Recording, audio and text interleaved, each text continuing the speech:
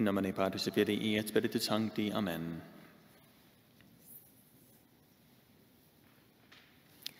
Well, today, uh, May 26th, uh, is the feast day of Saint Philip Neri.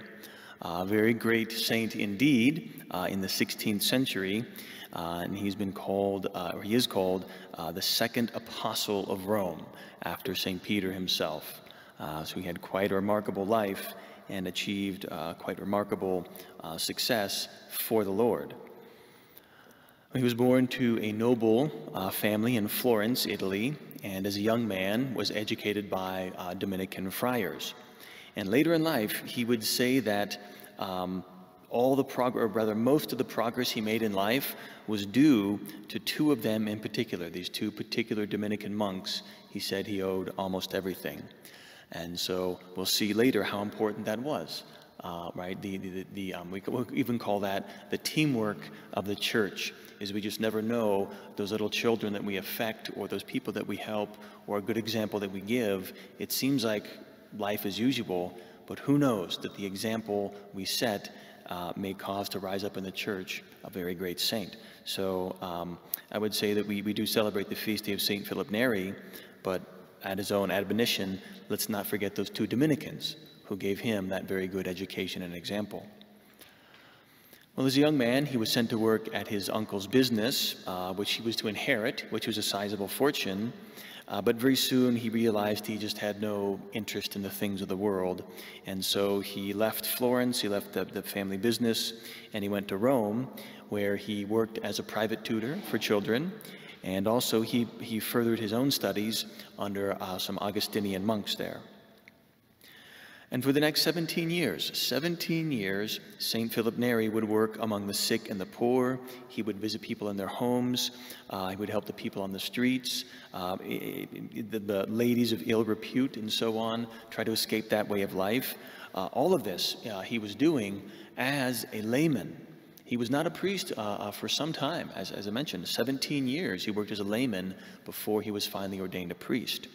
And during this time when he was working, uh, early on in, in, these endeavors, he met St. Ignatius of Loyola, uh, the, newly, the founder of that, that newly formed uh, Jesuits. And so uh, to this order, he would send young men whom he'd uh, converted or worked with or among his disciples. That was his, uh, we would say, um, source for vocations. He would send them to that, the Jesuits, St. Ignatius, for their priesthood. Um, eventually, he himself would be ordained a priest, and he would found an order called the Oratorians. And this is still uh, very much active today.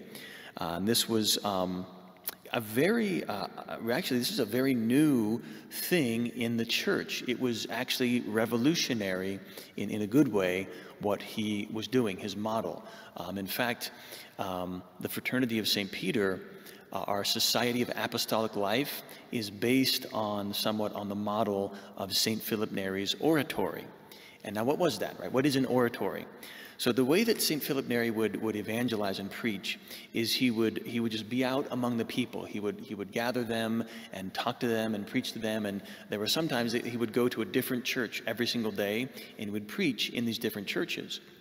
Uh, but he would found, we would say, societies or clubs, and they would meet in a particular place, or a church or whatever, and they would call it an oratory, and then they would have, they would come together and they would sing some song, hymns or songs or whatever it may be.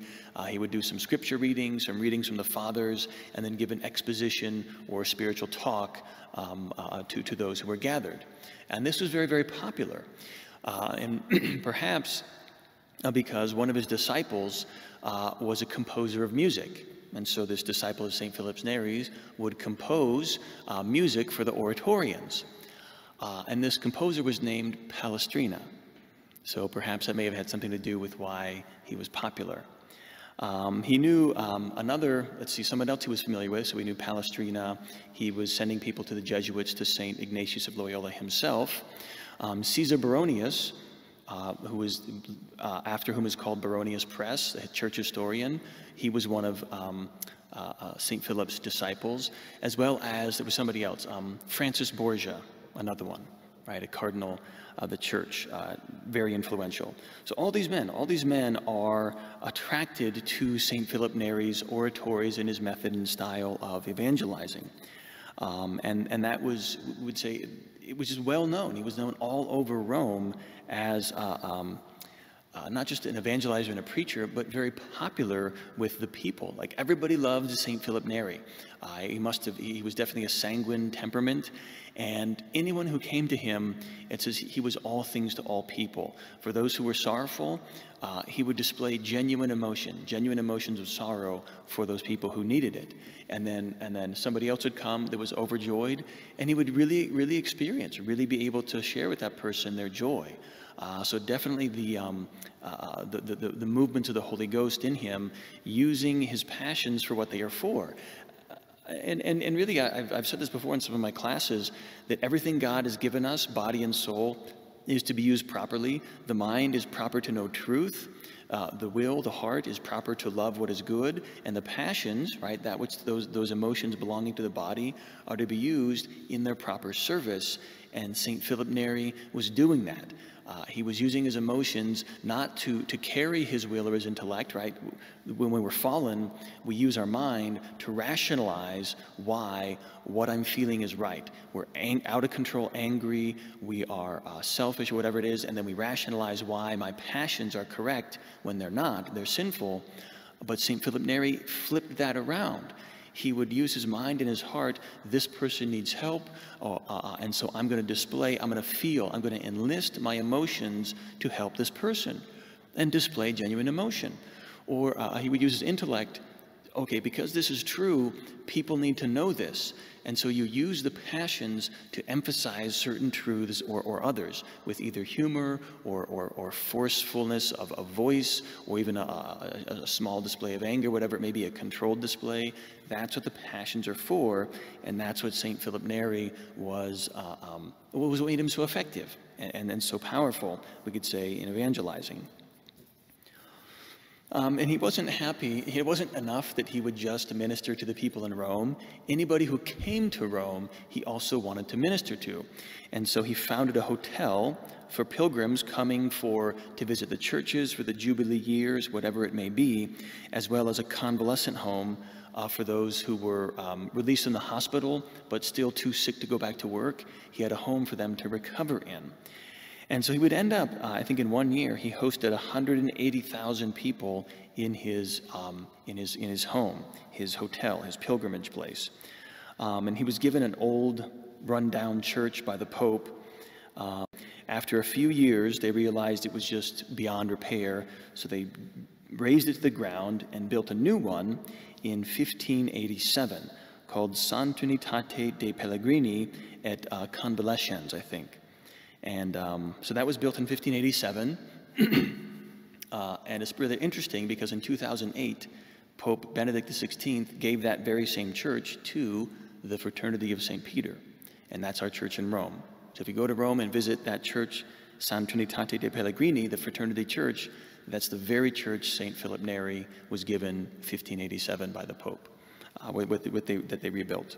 So um, we have a connection, right? His, his way of life um, and his very church uh, that fraternity uh, now cares for, modeled after. Um, and you know, with political involvement, this goes back to St. Philip's influence.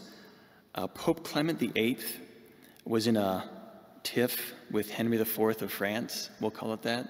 Uh, disagreement. He's been excommunicated, and the, the, the, king was Calvinist, and the Pope excommunicated him. The, the king re renounced Calvinism, the Pope wouldn't lift the excommunication. There was political wrangling going on. So St. Philip Neri, he, he avoided political conflict if he could, but he saw that this was uh, the King of France. If he wasn't shown clemency, um, he was going to relapse. It would be very bad um, uh, uh, for, the, for the France and for the church. So the Pope's confessor, well, again, was a disciple of St. Philip.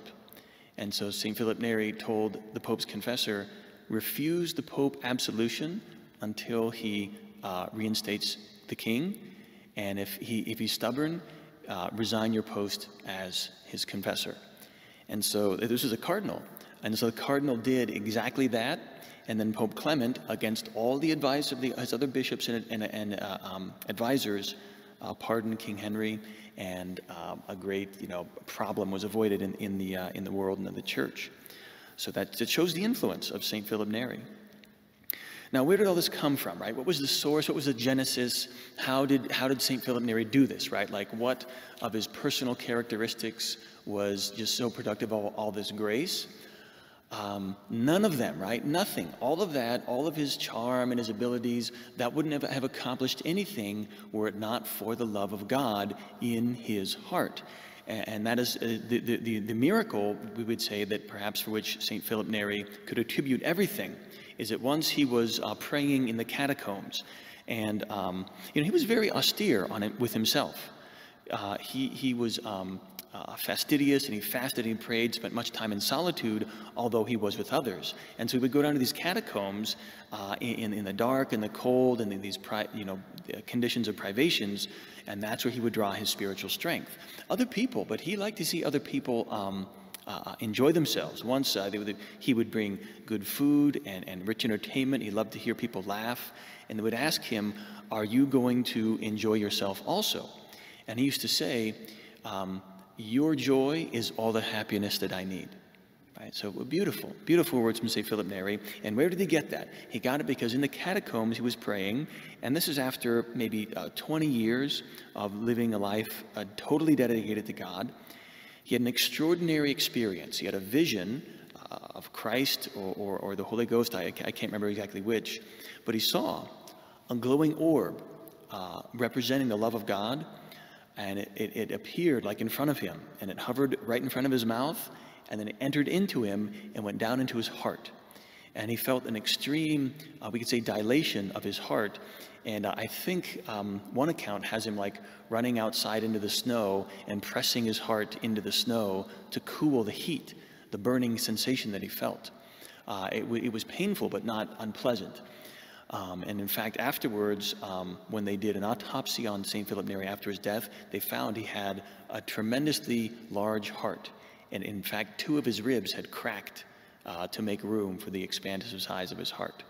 So that is that was the source physically, that physical miracle, a sign that the love of Christ had entered into his heart, and that's how he was loving uh, everyone else. Well, at his death in 1595, this is the, fe- this is the feast of Corpus Christi. And on that very day, um, the body of Christ, right, he was told he was not in good health. And he spent the rest of the day hearing confessions and receiving visitors. And before going to bed, he said, And last of all, we must die.